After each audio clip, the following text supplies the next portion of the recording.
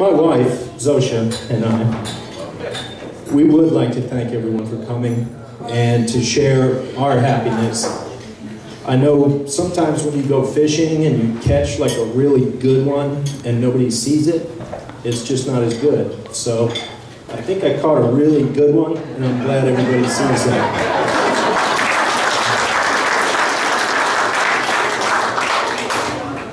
Um, this is our small get-together because when you take uh, Zosha's family, a couple of close friends and uh, you know a few nieces, cousins, and stuff like that, this is what you get. Um, and I'm glad to be a part of it. Thank you.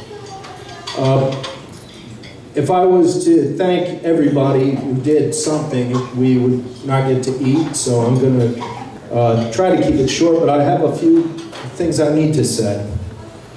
Uh, first off, I would like to thank Raphael and Michael, Ralph and Mike, as I call them. Uh, it's a uh, it's a big deal to me what you did today.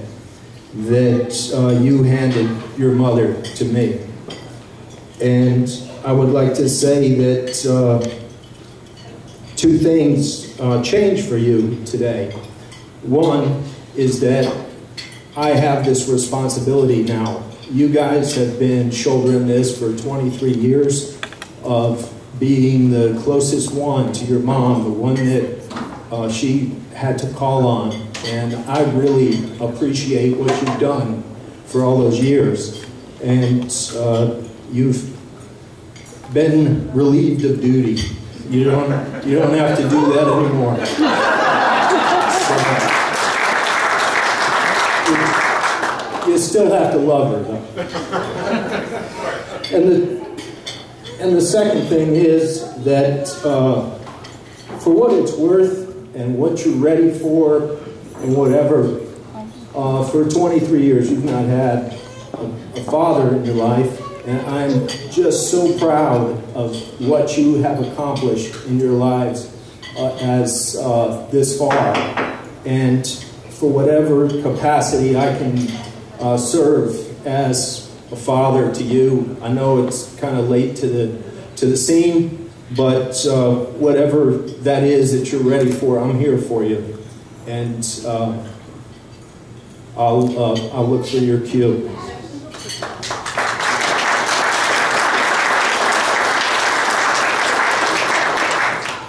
Likewise, Zosha is glad to welcome my son and daughter, uh, Bert and Sarah, and uh, welcome them, in, them into her life. And they've been gracious and warm to her. And Sarah and Bert, thank you for coming and sharing our joy. And Sarah, thank you for all the hard work you did, making everybody's hair look pretty.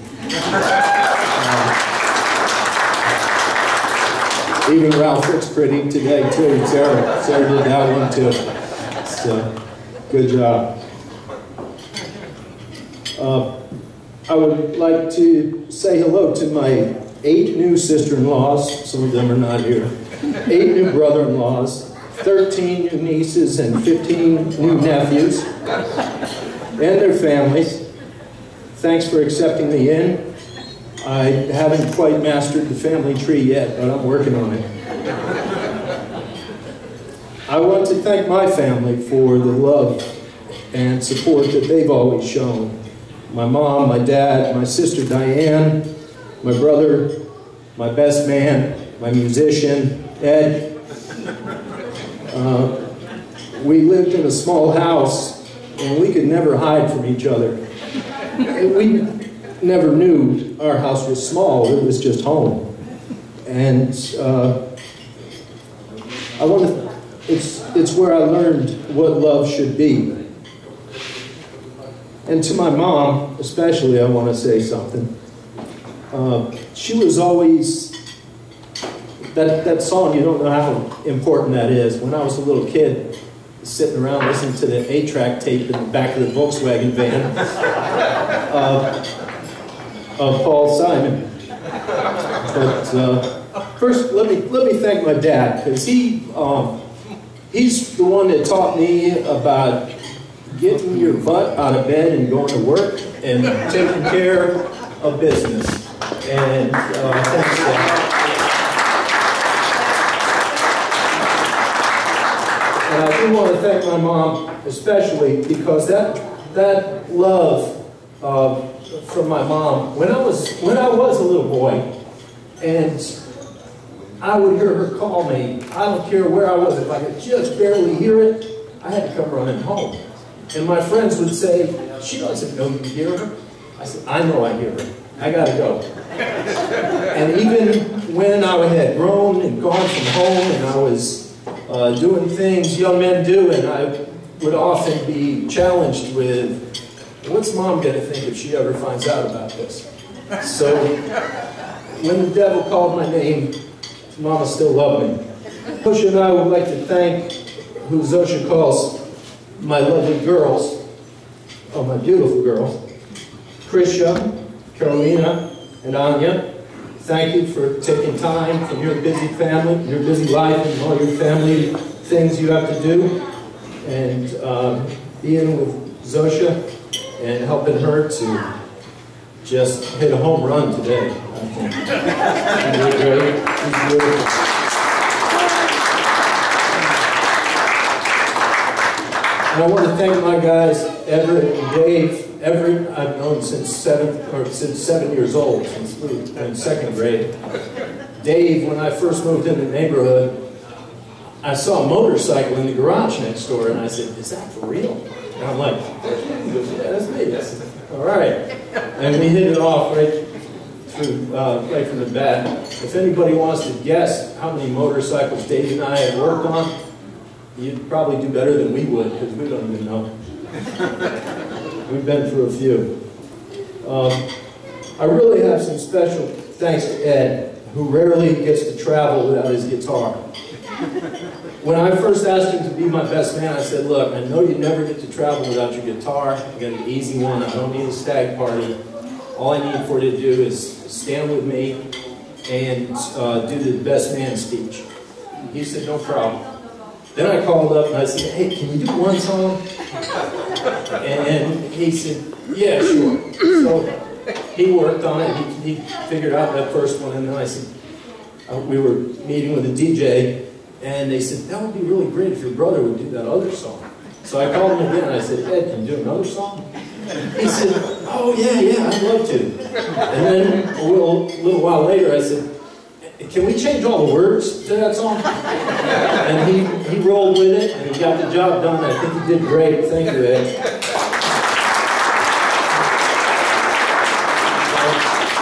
And, and just so you know, what he did today, that's not what he normally does. He's usually like breaking strings on an electric guitar and playing ZZ Top and uh, Lynyrd Skynyrd and things like that. He can really kill one. Um, we want to thank Gib for tailoring Zosha's wedding dress. Thank you to the DJ, Jans. Thank you to Hefner Photo. Uh, no relation to Hugh Hefner, right? So we thank uh, Colleen and staff at the Grand for the food and the venue. And I want to thank my, my friend, my brother, Reverend Dr. Ronnie Elred and his wife Pat for coming. And uh, Ronnie Riddick I've known for over 20 years. We were thinking my hair was dark and his was had some. we uh,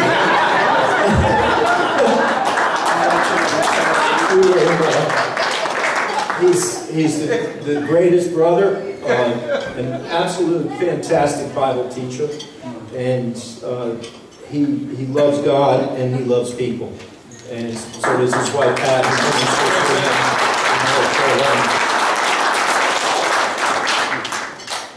Okay, so now there's one more person I need to talk about. Let's see. Zosha. Now, let's all practice saying Zosha. Zosha. Zo Not Zasha, Zisha, Zoshi, Sophie. I've got like so many. Zosha. Okay. All right. When I first met her, we were both a little battle scarred from life. And we were kind of like two porcupines that just don't get too close to each other. We just kind of walked around and talked a little. And as time went on, I, um, I found myself wondering, what an incredibly kind-hearted woman. How can this be with all that, that she's been through? How can she uh, have such a life of struggle and, and, uh, and heartbreak, and even the years she has spent being beside people as they stepped into eternity. Um, she has just loved people very, very powerfully. And I saw her strong faith in God and her ability to see past and through uh, just trying to make an outward religious sign. And she's had become a woman who knew God by an actual faith in Him. She counts on no religious credit for doing religious things or even for attending to the, the dying that she has done. She just did what she felt God wanted her to do. And her hope for eternity rested in the person of Jesus, his payment for our sins, and his victory over death. I noticed some other things about her. She's kind to animals. That's important. Uh, she actually loves them. We used to go on the motorcycle and go down and feed the goats and the donkey, and, and Zosha would be concerned that they couldn't reach that green clover that was just outside the, uh, the fence, and she would go pick some and make, make sure they got some. The donkey actually knew your name, right? That little donkey loves her. Um, so as time went on, I, I watched other things. I, a little thing like you're in the grocery store, and she actually cares if she's in somebody's way. Like, a lot of people don't. She just really is concerned with other people. And those kind of observations you can make instead of asking someone, do you care about other people? Of course they say yes. But when you see it, uh, unprompted, unscripted, it's just straight from her heart uh, you understand what kind of person she is. And so here's a, a, thing that happened. As I started knowing her, like I said, we're friends, and i I'm, I'm seeing somebody needs to give this woman some happiness in her life. And so I, I helped her out and I wrote a profile for her on the dating site and, and said, uh, well, here, here you go. This should get you a, a good guy somewhere.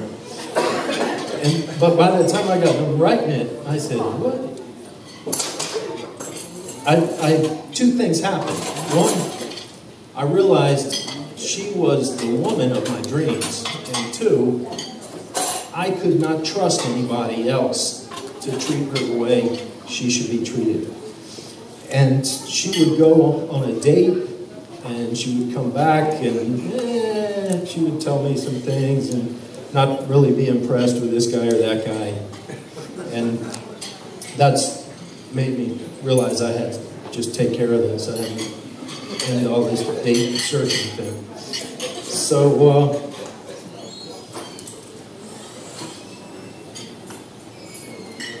As that, as time went on, her and I have become very close friends, and we have shared very a lot of our hurts, a lot of our healings, a lot of our faith in God. And I had only one hesitation in asking her to marry me. It's going to hurt so much when one of us leaves first. And at our age, that's not something you think of when you're 22. But at our age, that's something real. And I'm willing to risk that kind of hurt if I can get this kind of love. I will love her like she deserves. Thank you, Zosha, for loving me the way you do. Thank you for letting me walk down, letting me in. And I want to close this with some my, my Polish words. I learned these from the Psalms. So I didn't make this up myself. Moja, moje, jak mi. For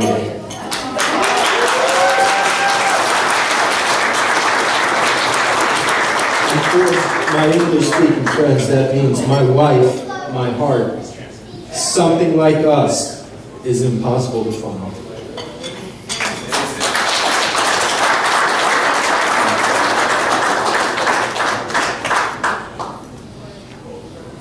Ladies and gentlemen, one more time, please put your hands together for our groom for the great speech.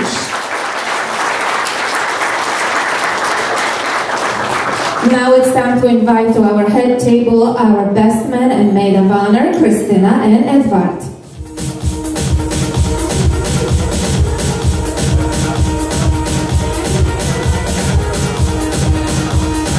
And ladies and gentlemen, before I pass the microphone, Ed is the brother of the groom, the best man and the musician who sang two songs at last and hallelujah as our groom mentioned. So please give it one more time and our best man. He was great. You agree with me. Great talent. Now I can pass the mic. Now there's something I'm used to, being passed the mic.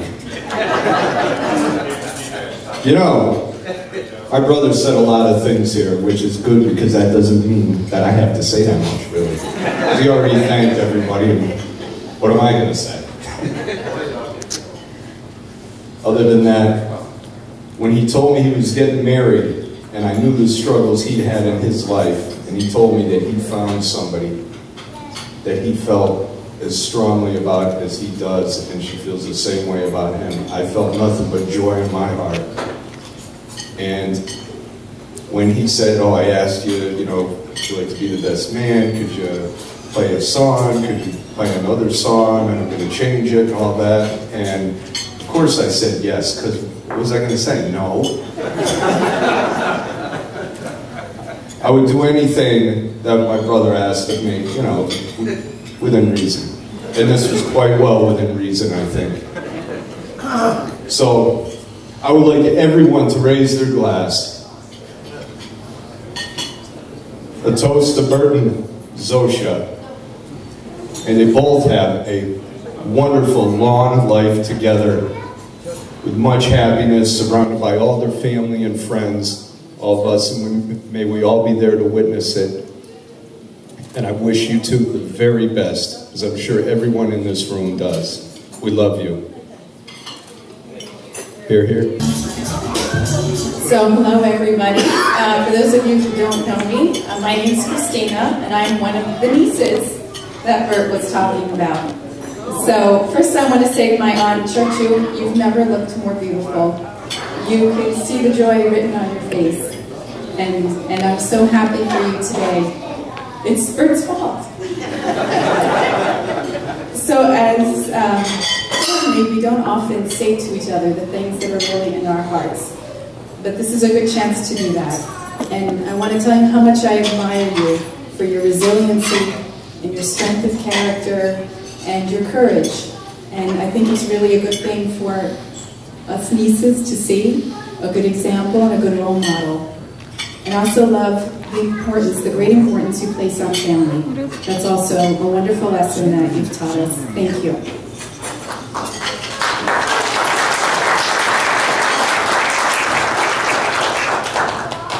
Bert, after my parents first met you, uh, my, my dad came to me and he said, Kish, this guy Bert, he's, he's a great guy, he's Marine, um, and he's got the most amazing head of hair.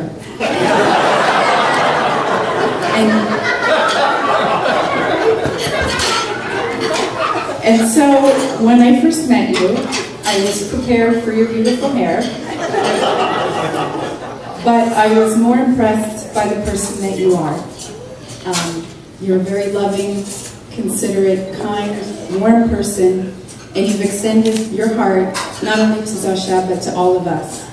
And so I think I speak for everyone in the family when I say we're thrilled that not only are you two joining your hearts together today, but you're also joining our wider extended family. Welcome.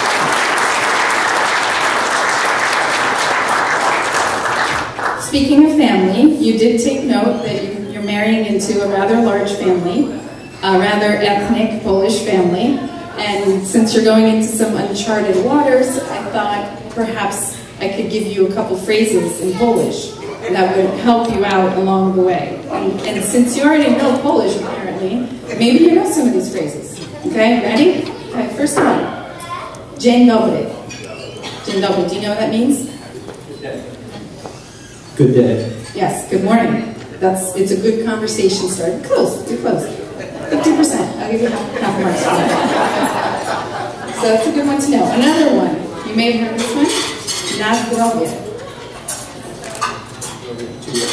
Yes, exactly right. To your health. So when you're clinking glasses with your new wife, na zdrowie, right? This one is a very important one. Masz rację, kochana. You know that one? Ciocia, do you want to tell them? Right. You're right, dear. Lock that one away. All right, and the last one, and the most important one, kocham cię. You know that one? I know it now. I love you. Yes, I love you. Good. Right. So in closing, I have a thought to share with everyone. Where your heart lies, there your treasure is. And I think you two have found in each other a jackpot. So here's to you.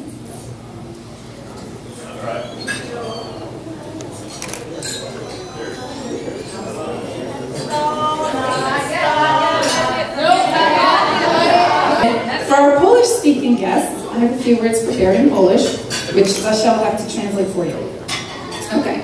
Jest przepiękna staropolska tradycja, w której e, rodzice pary młody witają ich z chlebem i solą i winem. To jest wszystko bardzo symboliczne. Chleb, żeby nigdy niczego nie brakowało. Sól, żeby życie miało smak a wino, żeby było słodko. So ciocia and Bert, życzę Wam, żeby nigdy Wam nic nie brakowało.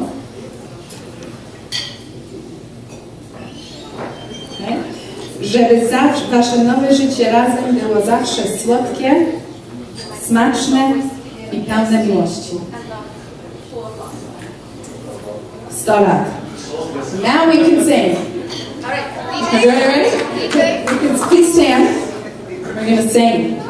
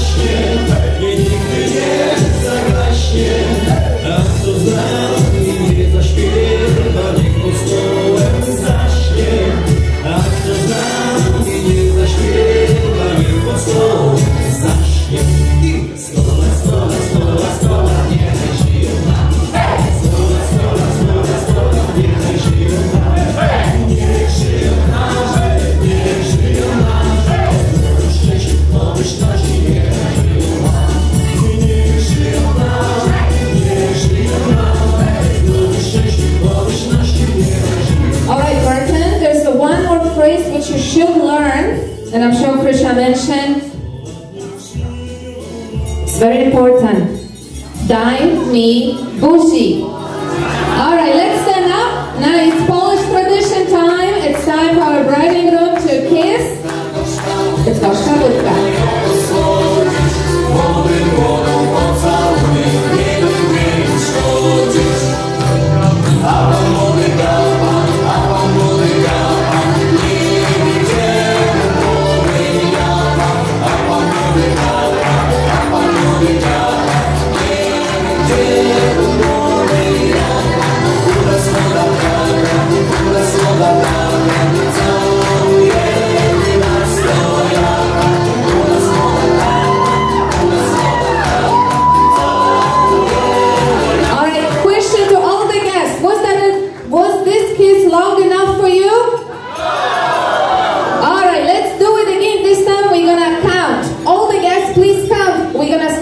10, going down to 1. And you please help me out, alright? Ready?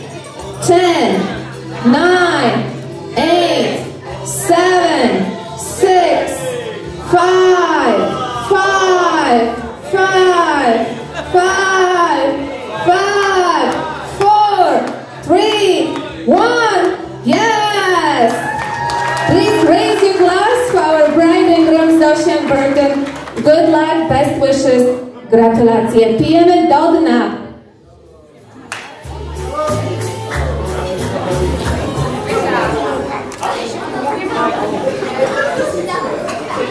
Bravo. One more time. Please put your hands together for our bride and groom.